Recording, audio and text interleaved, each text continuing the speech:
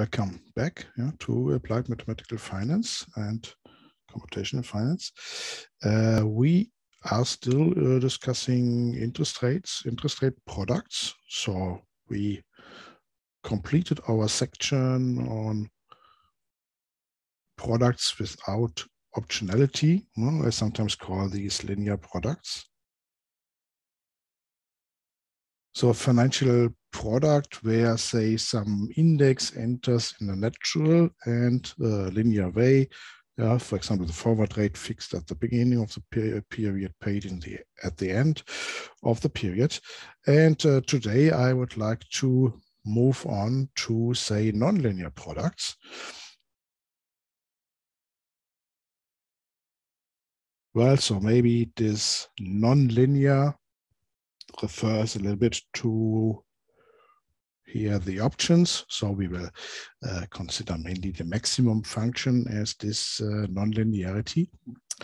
Um, we will look at some simple options. So what does this mean? Okay, so we have here simple. So that means first I look at uh, European options. So there's a single date where you can choose something. And then this simple also refers a little bit that um, the financial product is simple enough such that if we choose a simple model, uh, we can derive an analytic formula.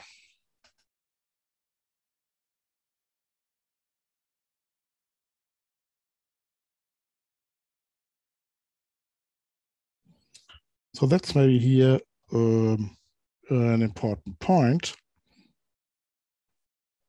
Assuming a simple model,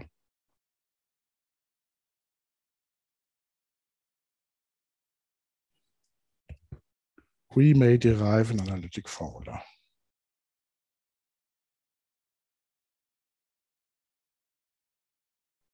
Well, valuation formula, of course. And then later we will uh, look at more complex uh, financial products that then require um, a numerical methods, or we will look at these products, but assuming a more complex uh, model for the interest rates.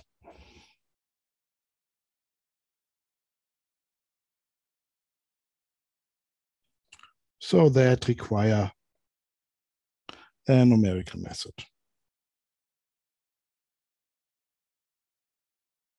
So speaking of the model, uh, for our products without optionality for the linear products, the special thing was that we did not need um, a stochastic model uh, to value these products. So the reason is that we could express everything in terms of some static, semi-static replication strategy uh, that just uses uh, products and then we could, uh, for, for, which we can uh, observe the value um, at the evaluation time. So if I use here the word valuation, I'm referring to the valuation using our universal valuation theorem, the universal pricing theorem, so that was here. So we express the value here at evaluation time, uh, for example, here in this theorem, by knowing the value at a future point in time. Okay, so that's here, for example, we are looking at European options. So maybe we have some formula for value at a future point in time, assuming a certain model that tells us something about the probability distribution at this future point in time. Okay, so we will look at this uh, valuation problem in one of the next sessions. So now let's introduce the financial products. Speaking of these options on interest rates, I will first introduce uh, options on the forward rate and also options on the swap rate. Uh, so we have here our definition of the forward rate. So you know you can express this as a ratio of zero coupon bonds, but I will also make a comment that you can have all these products, for example, as options on the backward rate. And we will look at the valuation a little bit later. So another small reminder. Um, we call here the swap.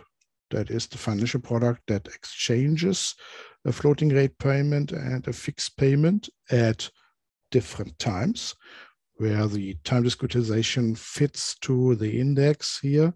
So fixed uh, fits to the index. So fixed at the beginning of the period, paid at the end of the period.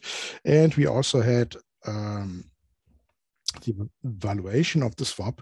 So we can express at every time little t the value of the swap using this forward rate as of little t and the zero coupon bond price as of little t. Okay, so the first product I would like to look at is the caplet.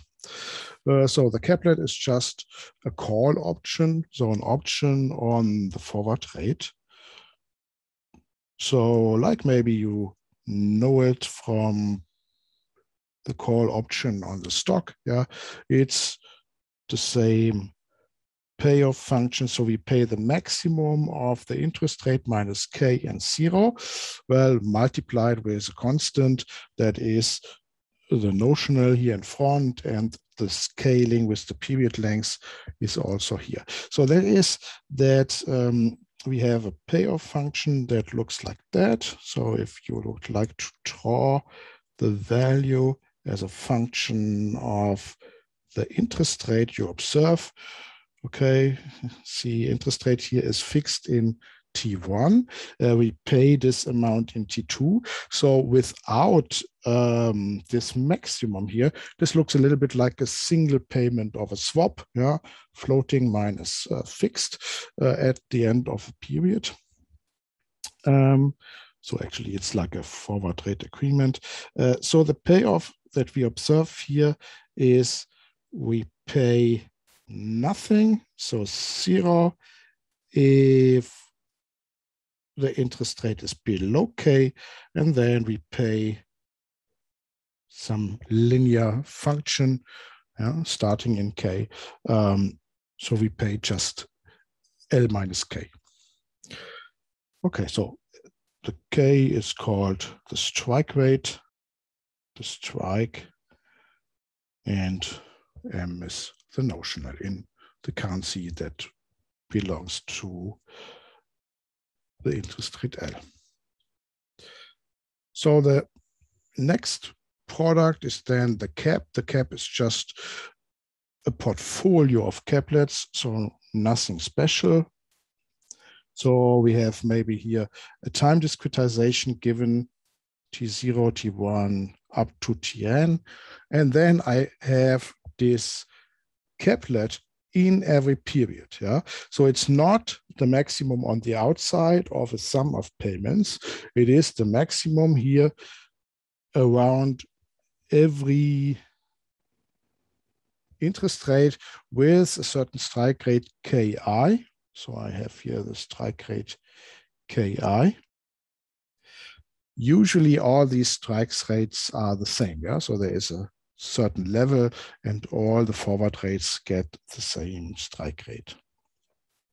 So, but uh, to implement it in a computer or a valuation model, it's easy to just assume that you have a vector of such strike rates. So that's that's the cap.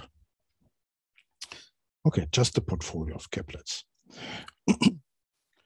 you can also look uh, the other way around. Uh, so, you get the maximum of k minus L. So I'm just flipping the two inside. And this guy is then called the floorlet. So the floorlet is if I pay map maximum k minus L and zero. So if you like to draw the payment that is made at time ti plus 1, so at the end of the corresponding period, as a function of L. So then you have here some strike rate k, and I pay you um, k minus L. So whenever L is below K, I pay you something. Otherwise, I pay you zero. So I pay you zero here, and I pay you something here. Okay, so that's the floorlet. Okay, so maybe the two names are um, yeah a bit uh, counterintuitive uh, because uh, you think that cap is something that is cutting off something at the top. Uh, and um, if you if you look at our cap, so our cap was this payoff here. As a function of the interest rate, we observe it is paying you nothing if you are below K, and otherwise it's paying you this linear function. So it's actually not, not cutting something off at the top, it's cutting something off maybe at the bottom. Uh, so um, maybe the name is a bit counterintuitive. Okay, so why, why is that? Well, um, you can also encounter these names capped and floored for coupons. And, and there it is what you uh, actually would intuitively think. So um, if you have an interest rate L and that interest rate is say capped, capped payoff, then this means that we take the interest rate and we cut off the payment, so the coupon, um, at a level K. So actually here it is like your intuition is maybe already telling you that you have some payment of this interest rate L. And then at a certain level, so here is my K, I'm cutting off the payment and I'm just paying you K. Yeah. So I'm paying you the minimum of L um, and K. Hmm, so L would go on, would go on here. And uh, the other way around, a floored coupon. Think of a of a floating rate bond or a coupon bond, a coupon bond that has this coupon. Uh, so a floored coupon would be that we are cutting the payment at the lower end, at the level K below. Uh, so we would have this little picture here, L, and then the floored one is having here a K, and it's paying you the constant until L becomes larger. So it's flooring your payment at a certain level. Okay. Okay, so you can have capped and floored coupons. But if you then look at the definition of a caplet, uh, it's this financial product and the name looks a bit counterintuitive. So the caplet is the call option. Well, to, to uh, solve this, um, one explanation why we have this counterintuitive name comes from an application. So you have a certain swap that exchanges um, a floating rate payment L um, against uh, some uh, coupon. Yeah? And then if you have here the normal floating rate payment and you exchange it against the capped floating rate payment, then you see this is the caplet. Okay, so this here is just L minus um, a capped one is pay the minimum of L and K. Okay, so cut it off on the top. Yeah. But that's actually the same as minus the minimum of L minus L is zero, K minus L is K minus L. Well, and minus the minimum of this is, this is take the maximum of what is inside. Yeah? So it's, with a minus. So this is our caplet, okay? So exchanging um, a floating rate payment against a capped uh, coupon gives you the caplet or the other way around. If you are obliged to say pay,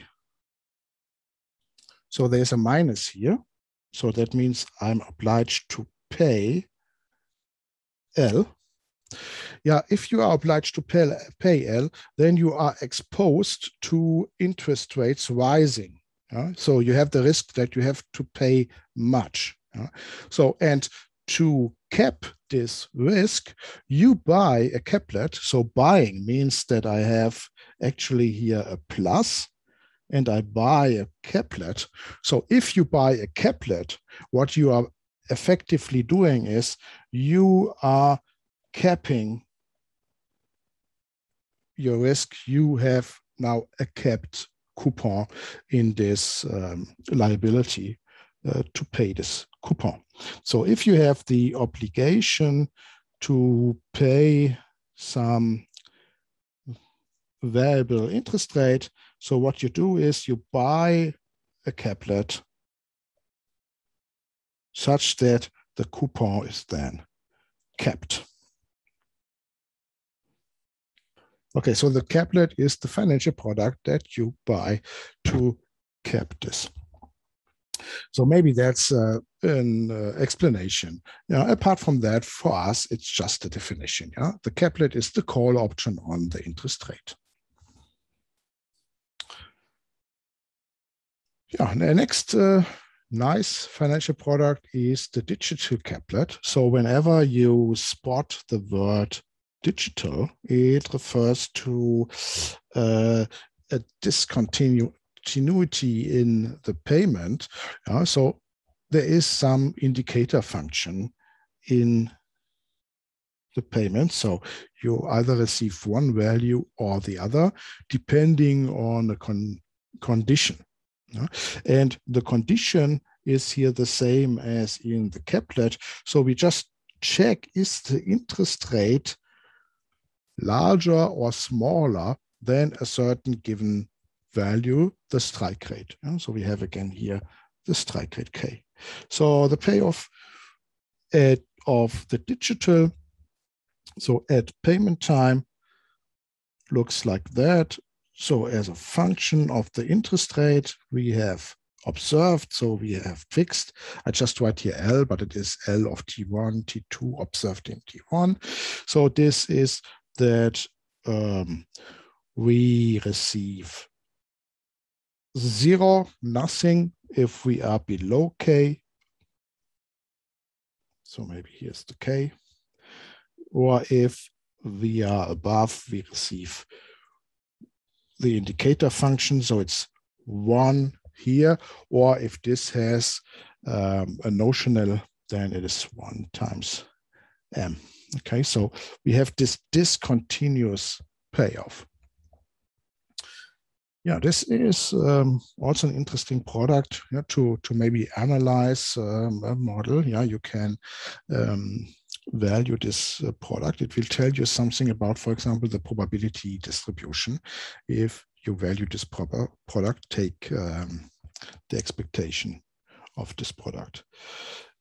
A nice relation is that you can approximate the value of this digital by a call option or say a portfolio of a call option.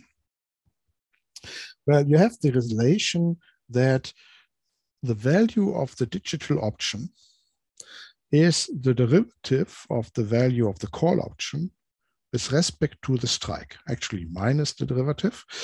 Um, so here, speaking about interest rate, the value of the digital caplet is minus the derivative of the value of the caplet with respect to the strike. And uh, the reason that this is so. Uh, you see it if you just uh, brutally move the derivative under the expectation in your valuation theorem. Yeah. So in my valuation theorem, I have that the value in zero is n of zero times expectation, the payoff function at the payment time, uh, conditional to, to time zero. So if you just apply now this, this, this differential operator to this and swap differential operator and expectation, and you differentiate with respect to the strike. So what you, are you differentiating? You are differentiating the function that is here inside the payment. And for the caplet, that function is the maximum function. Yeah. So uh, we have here the maximum function, L minus K. Okay. Well, and if you differentiate the maximum function, you get the indicator function. But then you see inside there is a minus k, so I get minus the indicator function. So if I plug here the minus in front, then I get the payment of the uh, caplet. Yeah? So you can easily see this. So maybe I already uh, did here the proof for you. Yeah. So you can easily see that there is a relation between these um, products. And since you know from numerical methods that you can approximate uh, here a derivative by a finite difference, you can now approximate this value using here a portfolio of two caplets.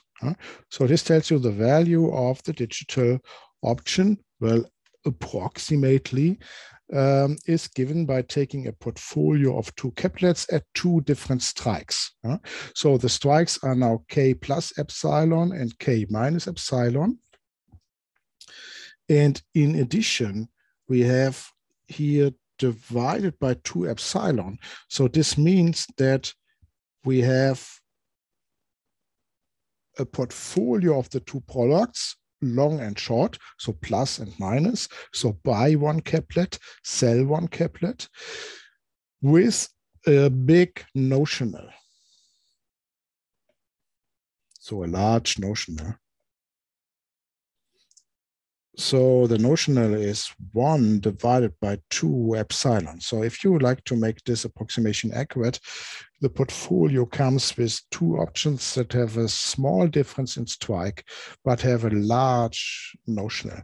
That's a problem. That's also a risky strategy. Yeah. So if you have two la very large positions, for example, if a counterpart defaults and doesn't pay pay back, that that there is a risk. So actually, if you do this strategy, you, this strategy is done in practice by a trader. Yeah. Um, but you have to be a little bit careful about this, this problem with the very big notional, especially if this option is very close to maturity, which means that uh, the jump in the value or the smoothness um, of this uh, uh, caplet value is uh, then um, yeah, small, which which will then create a high sensitivity to, to changes in, in the parameters. Uh, yeah, okay, that's an interesting product. Maybe we can study this uh, a little bit. So here's a small picture. Yeah, so what we are doing. So you see that you have here two uh, caplets. So I have here the caplet with strike k minus epsilon so this guy is maximum of L, you're underlying minus K minus epsilon and zero. So this here is K minus epsilon. And the other guy, of course, is the other call option, maximum L minus K plus epsilon and zero. And you see that you have approximated the digital. Yeah, so first your blue financial product pays nothing, then your blue financial product pays something, but then you have a short position, so you have to give the payment to the holder of the other option, yeah, and uh, you just keep the difference. Okay, so um, this is the digital caplet. So now to a very important financial product, the swaption. Okay, so the swaption is just an option on a swap. And when we define the swaption, take a different approach compared to what we did before. Before, actually, I, I described what is the payoff of the financial product.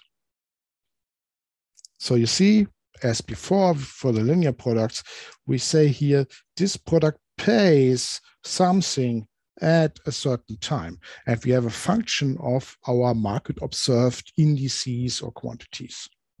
So now with the swaption, which is an option on the swap, the definition looks a little bit different what I'm doing here, swaption, uh, swaption is an option on the swap. And now I assume that I have the value process of that swap. So there is a certain definition of that swap. So the swap has these payments in the future. And I assume that V subscript swap denotes the value process of the swap. So V of t is the time t value of that swap. And then I'm defining that the value of the swaption is given by taking the value of the swap if the value of the swap is positive, otherwise zero. So I have here just the value of this swap inside this formula. So you have the option to receive the swap. And of course, you just take the swap if it has a positive value for you. And there is here just the value of the swap inside this uh, formula. So we perform evaluation of this financial product and uh, the payments of this swap is maybe defined in some appendix describing uh, the, the swap. So this raises a small question. So how is this done in practice? So actually you can have two different ways. You can have the so-called physical settlement or the so-called cash settlement. So for the physical settlement, it is that upon this exercise date, so here the exercise date is the date T1,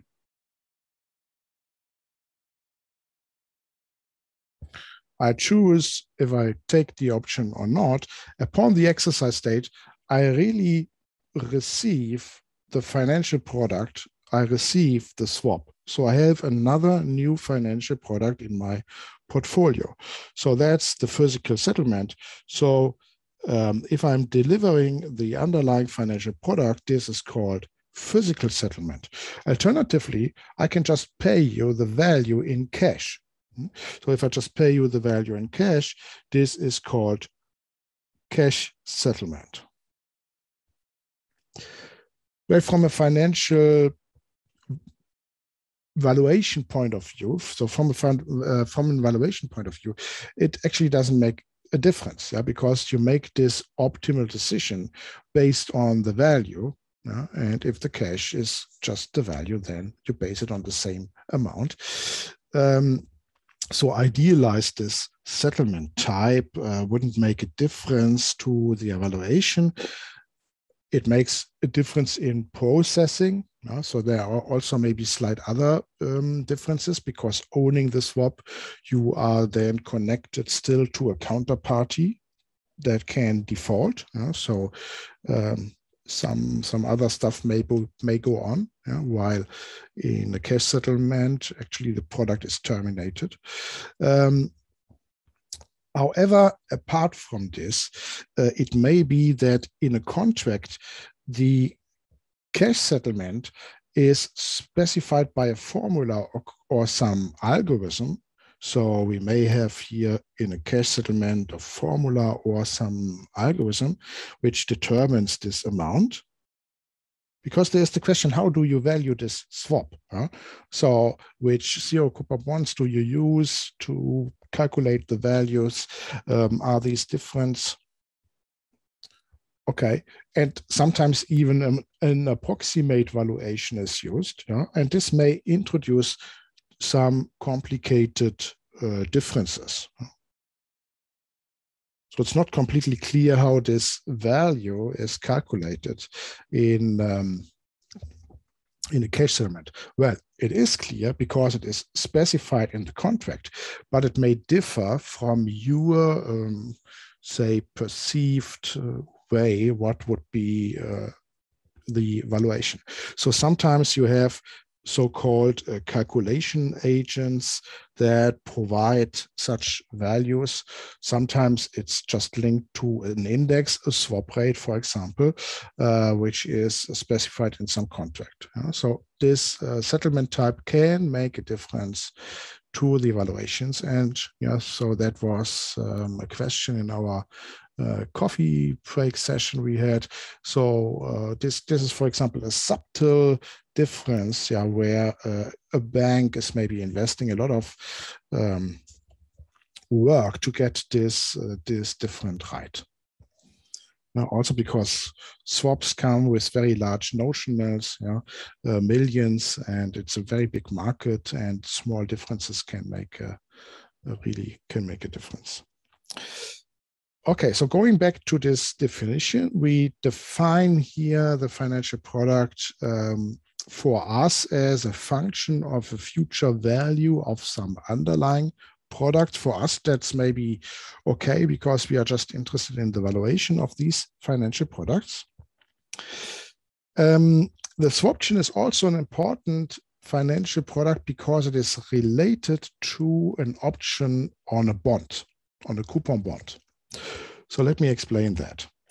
So the swaption is related to an option on a coupon bond. So let's look here to the coupon bond. First, recall what is the coupon bond. I'm looking here at the fixed coupon bond. So we have a certain timeline here with a time discretization, our tenor discretizations, uh, say Tn, and here's T1, T2, and I have fixed constant payments. These coupons, CI, well, scaled with the period length, that's just a constant.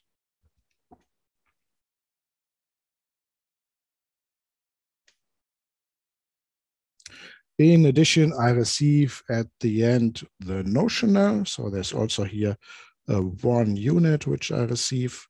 So that's here the payment of my coupon bond. I have the coupons, whoops. I have here the coupons and I have the notional payment at the end of the lifetime of the, of the product. And now um, I have an option to receive this bond at time T1 well, uh, if um, these are guaranteed payments, the value of these payments is always positive. Yeah? So if you just have the option to receive these payments, you would immediately exercise the option because you would like to receive payments. So the option is that you are allowed to receive these payments if you pay here one unit of currency. So you have to pay here uh, one. So paying one is minus one. So I draw an arrow down if I pay this. Um, so the option value is then that you are allowed to receive this object here upon time t1. So that's the time when I decide if I would like to receive this. So that's my exercise date. Maybe I mark that in a different color. Okay, so that's the exercise state. So I will look at the value of this thing at time t1. So this thing I call now the forward bond, yeah, the value of the forward coupon bond. And the value of my forward coupon bond is just you receive the coupon bond. So the coupon bond was here my queen guy, but you have to pay one unit of notional at the beginning of the period. So there's here the minus because we have to pay.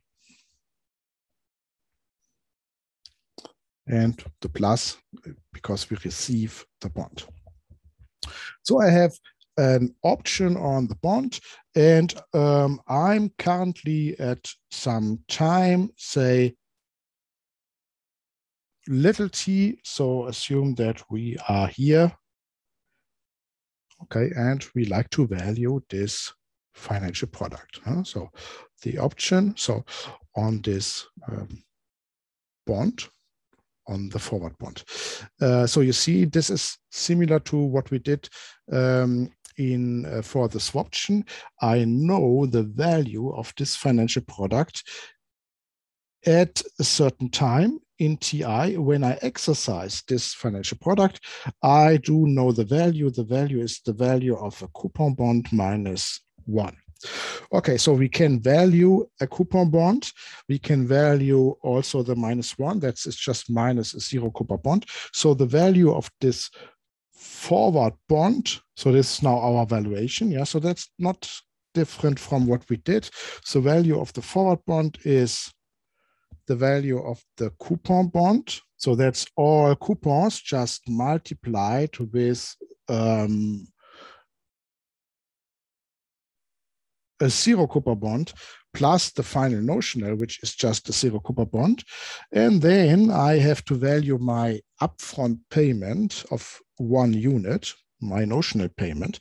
So that's minus uh, the zero coupon bond price.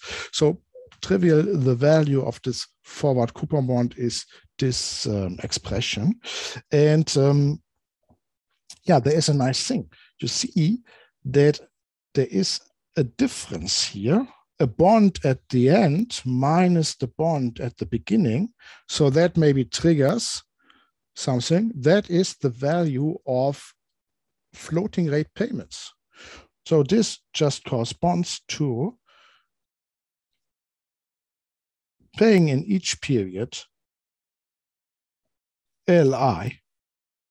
Yeah. So since it is the bond at the end minus the bond at the beginning, this is flipped. So it is minus LI. And you see that the coupon bond the, is just a swap. So the option on the, so the forward coupon bond is just a swap. So the option um, on this guy is just a swaption.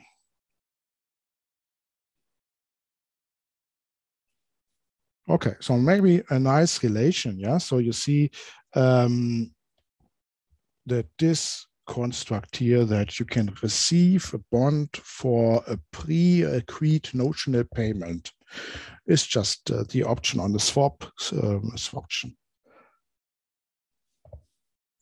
Okay, so uh, let's uh, complete uh, the session here on introducing some um, optional products by uh, two more exotic guys. Yeah? So the foreign caplet and the Quanto. The foreign caplet is just a caplet in foreign currency. And that's maybe not something special. So the foreign caplet is just a caplet in foreign currency.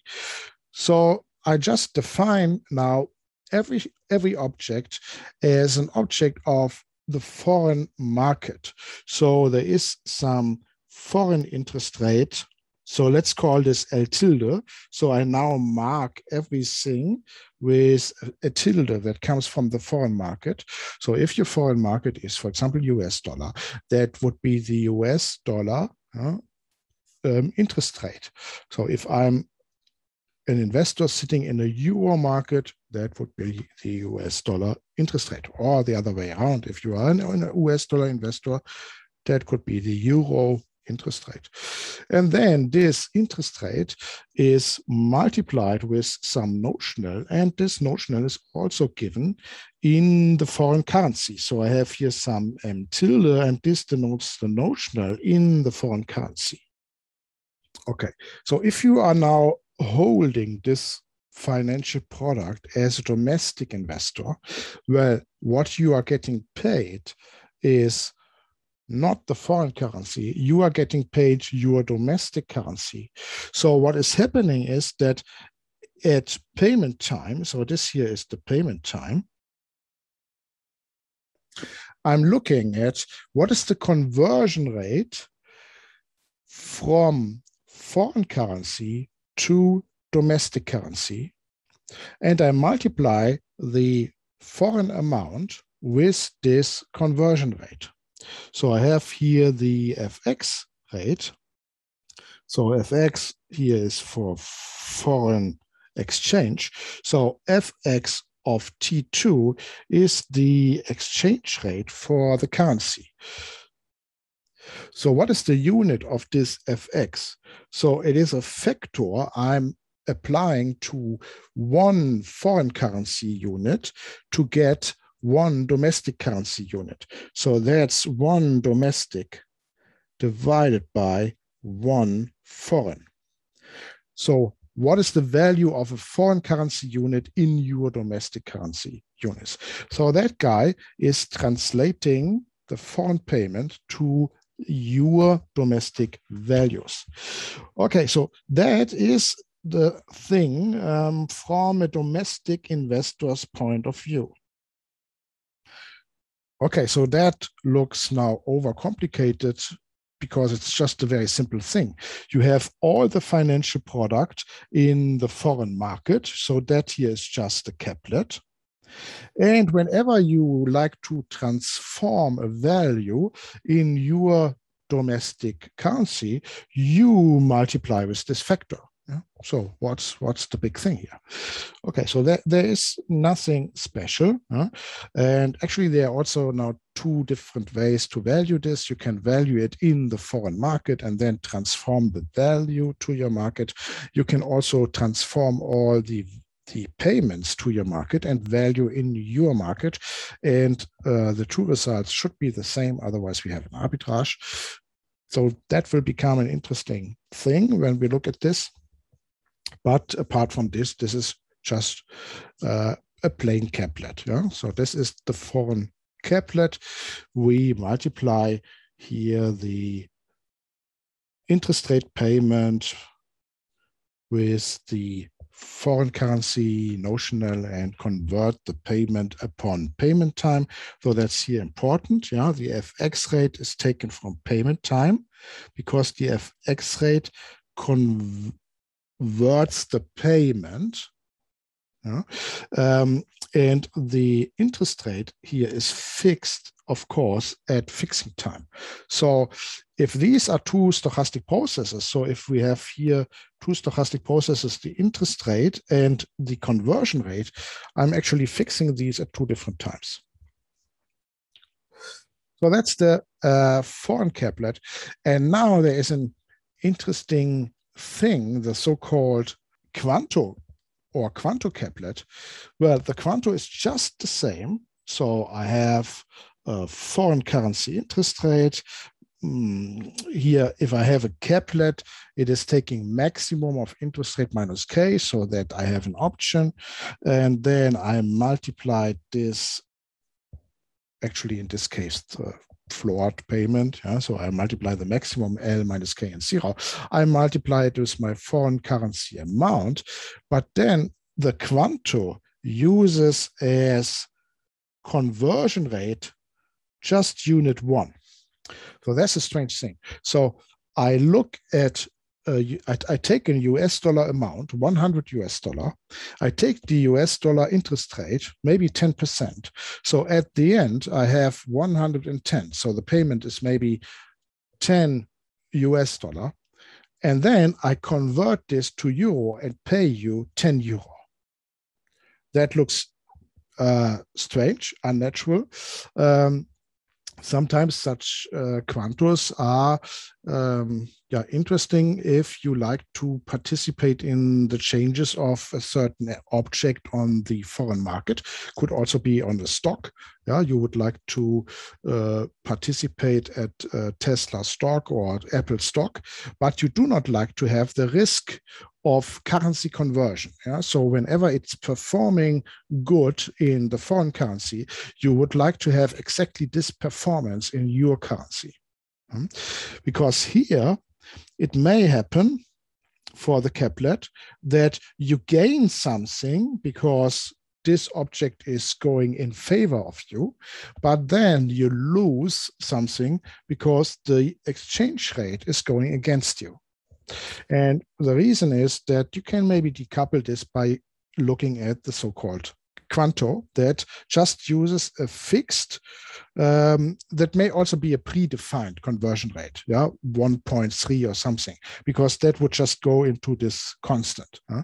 It uses a fixed predefined conversion rate, while the caplet or the non-quanto uses a stochastic observed at payment time conversion rate.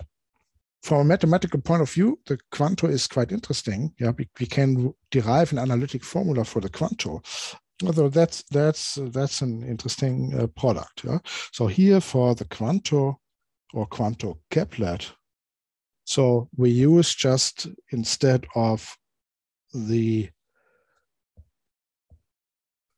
foreign currency conversion rate fx, we just use a constant.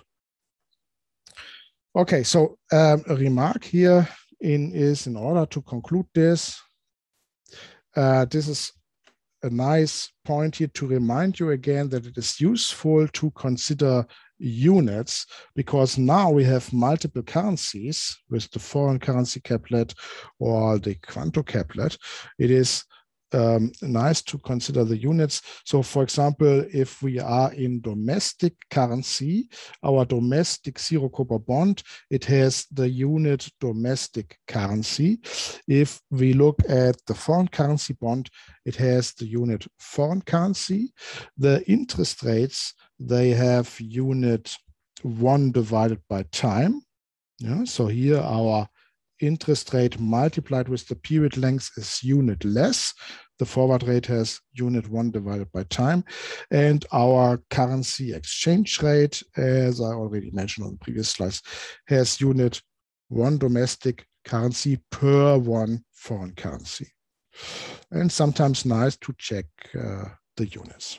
And here, of course, our foreign currency notional is in foreign currency. Okay, so a last remark. Um, you can have all these guys also on the backward rate. So I just used uh, here the forward rate in, in um, all the definitions.